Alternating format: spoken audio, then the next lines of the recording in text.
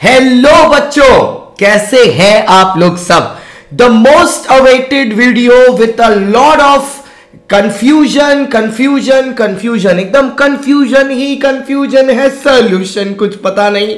तो ये बहुत ही ज़्यादा कंफ्यूजिंग टॉपिक अभी मार्केट में चल रहा है। न्यू सिलेबस ओल्ड सिलेबस कब होगा एप्लीकेबल कब आएगा? क्या आएगा? क्या नहीं आएगा? तो इन सारी चीज़ों को डील करने के लिए आज मैंने एक वीडियो बना रहा हूँ मैं, जिसमें मैं आपको न्यू और सिलेबस में आपके लिए क्या नया है और ये न्यू सिलेबस अभी कहाँ तक पहुँचा है, अपनी टाइमलाइन में, वो आपके साथ डिस्कस करूँगा। और इस वीडियो के बाद आपको किसी और चीज़ को देखने की कोई ज़रूरत नहीं पड़ेगी, कोई क्लिक बेट। आपको जो मांग रहा है, वो देने की ज़रूरत नहीं पड़ेगी। तो आप कृपा करके वीडियो को और चैनल को सब्सक्राइब कर लीजिएगा। ठीक है? क्योंकि रेगुलर इंटरमीडिएट की क्लासेस मैंने चैनल पर ऑलरेडी चालू कर दी हैं। कंटिन्यूअसली इंटरमीडिएट की क्लासेस मैं ले रहा हूँ। फ्री ऑफ़ कॉस्ट और बहुत ही जल्दी हमारा अपना एप्लीकेशन भी लॉन्च होने वाला है, जिसमें सीए इंटरमीडिएट आपको मिलेगा। सिर्फ़ और सिर्फ़ पाँच हज़ार रुपए में और उससे ten percent discount four thousand five hundred rupees में फुल सीए इंटरमीडिएट लॉ का कोर्स। तो चलिए अब वीडियो की शुरुआत करते हैं और मैं आपको कुछ और नहीं आईसीआई का आईसीएआई का ब्रोशर दिखाता हूँ, जो इस न्यू सिलेबस से रिलेटेड उन्होंने इश्यू किया था। तो चलिए, पहले उस पर चलते हैं। देखिए आईसीएआई जो बॉडी है, वो हर हर कुछ पाँच से साल के अंदर, पाँच साल अराउंड के अंदर, अपना सिलेबस चेंज करता है। जैसे पहली बार मतलब इससे पहले भी सिलेबस मई 2018 के एग्ज़ाम्स के लिए ऑलरेडी चेंज हुआ था। जो अभी करंटली सीए फाउंडेशन है, वो इसके पहले सीपीटी हुआ करता था। ठीक है? तो उसको चेंज किया गया है। इस बार फिर से यह सिलेबस चेंज का ड्राफ्ट डाला गया है कि सिलेबस को चेंज किया जाएगा। पहले मैं कुछ चीज़ें आपको क्लियर कर दूँ जिससे आपके दिमाग में कुछ कंफ्यूजन है। देखिए आईसीएआई एक बॉडी है जो इंडिया में फिनेंस को कंट्रोल करता है।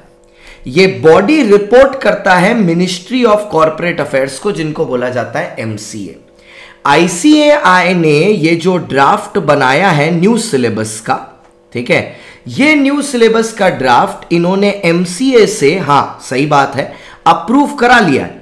लेकिन एमसीए जो कमिटी है, जैसे एक्ट बनता है, उसके बाद इसको ये लेके जाना होगा पार्लियामेंट में वोटिंग के लिए। मतलब parliament as in both the houses of the parliament Lok Sabha and Rajya Sabha. एक बार वो वहाँ से मेजोरिटी से पास हो जाएगा, उसके बाद ये सिलेबस बच्चों के लिए एप्लीकेबल हो जाएगा। तो पहला क्वेश्चन ये है क्या मई 2023 के लिए ये सिलेबस एप्लीकेबल है? बिल्कुल नहीं कतः नहीं, आप ओल्ड सिलेबस में ही एग्ज़ाम देंगे। तो आपको फालतू चीज़ों की टेंशन लेने की कोई दरकार नहीं है। क्या नवंबर 2023 के लिए सिलेबस एप्लीकेबल है? May be may be not अभी कोई श्योरिटी नहीं है। हो भी सकता है, नहीं भी हो सकता है। मैं क्यों बोल रहा हूँ हो भी सकता है, नहीं भी हो सकता है? अब देखिए, पार्लियामेंट में यह बिल पास होने में कितना टाइम लगेगा, उस पर डिपेंड करता है। अगर यह जल्दी हो गया तो हो सकता है नवंबर एग्ज़ाम्स के लिए हो जाए। लेकिन अगर यह नहीं हुआ, ठीक है so then there is a point कि कंपलसरी नहीं है कि नवंबर एग्ज़ाम्स में होगा ये एप्लीकेबल अब मैं पहले ना कुछ सेट ऑफ़ क्वेश्चंस आपके डील कर दूँगा। आपको ये नया सिलेबस दिखाने से पहले, जो बच्चों के दिमाग में आ सकते हैं, क्योंकि मेरे को पता है कि ये क्वेश्चंस आपके दिमाग में चल रहे हैं बैकग्राउंड में, ठीक है? तो इनको मैं पहले डील कर देता हूँ। सर, सबसे पहला क्वेश्चन जो बच्चों के दिमाग में आ रहा है, ठीक है? कि सर, हम लोग जो फाउंडेशन वाले हैं, ठीक है? जो अभी फाउंडेशन वाले हैं, जिन्होंने थर्टी दिसंबर तक एनरोलमेंट की है 31 दिसंबर 2022 में जो एनरोलमेंट की है तो हम अभी कौन से सिलेबस में एग्ज़ाम देंगे? बेटा, अगर आप मई में एग्ज़ाम देने वाले हो मई 2023 में, ठीक है? तो आप एग्ज़ाम देने वाले हो ओल्ड कोर्स में, ठीक है? ओल्ड कोर्स में। सर लेट्स सपोज़ कि हमारा रिज़ल्ट दो केसेस हो सकते हैं। हमारा रिज़ल्ट ठीक है? मतलब दोनों में से एक केस तो हो ही सकता है ना? देखिए सर हमारा रिज़ल्ट जो है हमारा रिज़ल्ट केस नंबर ए ठीक है? हमारा रिज़ल्ट सर पॉजिटिव आता है, ठीक है? हमारा रिज़ल्ट पॉजिटिव आता है। सर तो हमारा अगला सीए इंटरमीडिएट का एग्ज़ाम या सीए इंटर का एग्ज़ाम कब होगा? आपका सीए इंटर का नेक्स्ट एग्ज़ाम होगा मई 2024 में। तो क्या सर तब हम लोग न्यू कोर्स में रहेंगे या ओल्ड कोर्स में? आप रहेंगे न्यू कोर्स में। ठीक है? आप रहेंगे न्यू कोर्स में। तो कोई टेंशन लेने की दरकार नहीं है। सर लेट्स से सर कि हमारा रिज़ल्ट नेगेटिव रहता है। ठीक है? तो ऑब्वियसली आपको वापस से फाउंडेशन देना होगा। अब सुनिए यहाँ पर की बात। जब भी इंस्टीट्यूट नया सिलेबस निकालता है, वो आपको देता है एक transition period what is this transition period वो आपको कुछ टर्म्स देता है कि आप ओल्ड सिलेबस में जो आपने पढ़ा है, उसी में आप एग्ज़ाम देके अपना एग्ज़ाम निकाल लो। तो वो आपको कुछ पीरियड देता है। लेट्स से वो आपको तीन टर्म दे देगा, ठीक है? या दो टर्म दे देगा। ऐसा उन्होंने प्रीवियसली 2018 में 2018 में भी ये सेम पैटर्न फॉलो किया था, ठीक है? वो आपको चाहे आप सीए में हो इंटरमीडिएट में हो फाउंडेशन में हो या फाइनल में हो, वो सब आपको थोड़े थोड़े दे देते हैं क्या टर्म्स जिसमें आप अपना एग्ज़ाम निकाल सकते हो, ठीक है? अब मान लीजिए आपका रिज़ल्ट नेगेटिव हो गया तो आपके पास अब है दो ऑप्शन। ठीक है? आप जब नवंबर 2023 में बैठो, ठीक है तो आप ओल्ड कोर्स में ही एग्ज़ाम दे सकते हो। मेरे को जहाँ तक लगता है वो आपको चार टर्म देंगे। मतलब नवंबर 23 मई टू 24 नवंबर 24 और मई 25 यहाँ तक वो आपको देंगे मोस्ट प्रॉब्लम मेरे को जो लगता है। लेकिन दो टर्म से तो ज़्यादा ही मिलेगा so you will get two terms in excess मतलब नवंबर 23 और मई 24 तो है ही आपके पास ओल्ड में ऑप्शन एक आपके पास ऑप्शन और रहेगा कि, सर, अगर मेरा नेगेटिव आया, अगर मैं वॉलेंटरी मतलब अपनी मर्ज़ी से न्यू कोर्स में जाना चाहता हूँ, ठीक है, मैं न्यू कोर्स में फाउंडेशन देना चाहता हूँ तो क्या मैं दे पाऊँगा? In new course can I yes sir sir तो क्या इसके लिए मेरे को वापस से रजिस्ट्रेशन फ़ीस भरना पड़ेगा? बिल्कुल नहीं. सर इसके लिए क्या मेरे को वापस से पूरा हैसल उठाना पड़ेगा रजिस्ट्रेशन का? बिल्कुल नहीं. आपको बस एक फॉर्म फिल करना पड़ेगा, ठीक है, जिसको ट्रांजिशन फॉर्म बोलते हैं, और आप उस ट्रांजिशन फॉर्म को फिल करते ही न्यू कोर्स से ओल्ड कोर्स मतलब ओल्ड कोर्स से न्यू कोर्स में जा पाएँगे, बिना किसी प्रॉब्लम के। ठीक है? ये आपका पहला ऑप्शन हो गया फाउंडेशन स्टूडेंट्स का। आई होप यहाँ पर जो डाउट्स थे, मैंने वो क्लियर कर दिए। अब अगली कैटेगरी ऑफ़ स्टूडेंट्स वो लोगों की है। ठीक है? जिन लोगों ने दिसंबर 2022 में फाउंडेशन का एग्ज़ाम दिया था। फाउंडेशन गिवन ठीक है? अब सुनिए। अब इनके भी दो केसेस हो सकते हैं। ठीक है? एक, इनका जो रिज़ल्ट है, वो पॉजिटिव आ जाए। देखो भैया, अगर आपका रिज़ल्ट पॉजिटिव आता है, ठीक है? तो आपका जो पहला अटेम्प्ट होगा, ठीक है, जो फ़र्स्ट अटेम्प्ट होगा, वो आपका होगा नवंबर 2023 फॉर सीए इंटरमीडिएट ठीक है? फॉर सीए इंटरमीडिएट नवंबर 2023 ठीक है? अब ये सिर्फ़ आपका न्यू ही में होगा। आप ओल्ड में इसको कर ही नहीं सकते, क्योंकि आपका रजिस्ट्रेशन ही न्यू में होगा। वो रजिस्ट्रेशन ही क्लोज कर देंगे। एक बार नया सिलेबस लाएँगे तो वो रजिस्ट्रेशन ही क्लोज कर देंगे for December 2022 clear foundation students कि आपको नए सिलेबस में ही देना है। आपके लिए ओल्ड का ऑप्शन ही नहीं रहेगा। कि नहीं सर, मैं ओल्ड में 2023 देना चाहूँगा। बट बट बट बट एक बात याद रखिए। But but there is an if if parliament passes passes it, passes the bill for November 23 अगर वो नवंबर 2023 के लिए इस बिल को पास कर दें तो ठीक है? दैट इज़ अ इफ़ पर वो मोस्ट प्रॉब्ली हो जाएगा। तो आप ये मान के चलिए। अच्छा लेट्स से कि आपका रिज़ल्ट अगर नेगेटिव आ गया। ठीक है? नेगेटिव आ गया। ठीक है?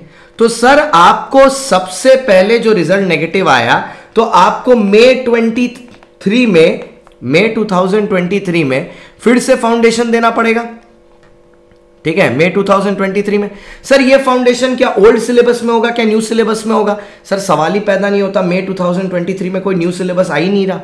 सब ओल्ड ही है, ठीक है? तो यहाँ पर आपका एग्ज़ाम ओल्ड कोर्स में ही होगा। सर मान लीजिए सर हम लोग ने मे 2023 में भी नहीं पास कर पाए। तो नवंबर 23 में सेम ऑप्शंस जो आपको पिछले पेज में दिए थे, आप ओल्ड में भी कंटिन्यू कर सकते हो और आप न्यू में भी ऑप्ट कर सकते हो, वो आपकी मर्ज़ी पर होगा। ठीक है? ओल्ड कोर्स ओके तो अब आई होप ये वाला भी लॉजिक क्लियर हो गया होगा। अब तीसरी कैटेगरी ऑफ़ स्टूडेंट वो आते हैं कि, सर, हम अभी क्लास 11 में हैं।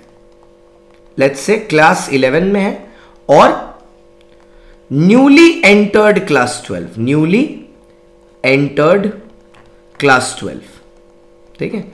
तो सर, हमारा जो सबसे पहला अटेम्प्ट है, ठीक है? वो हमारा सबसे पहला अटेम्प्ट कौन सा होगा?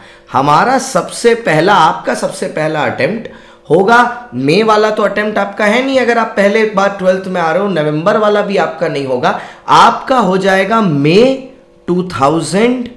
2024 ठीक है? मे 2024 बेटा, तब तक तो न्यू सिलेबस आ ही गया होगा। ठीक है? तब तक तो न्यू कोर्स आ ही गया होगा। तो ऐसे बच्चों को मैं क्या रेकमेंड करूँगा पता है अभी? Do not do any registration do not do any registration अब कुछ बच्चे बोलेंगे, सर, हमने तो ऑलरेडी करा ली। हमने तो ऑलरेडी करा रखी है। तब क्या करें?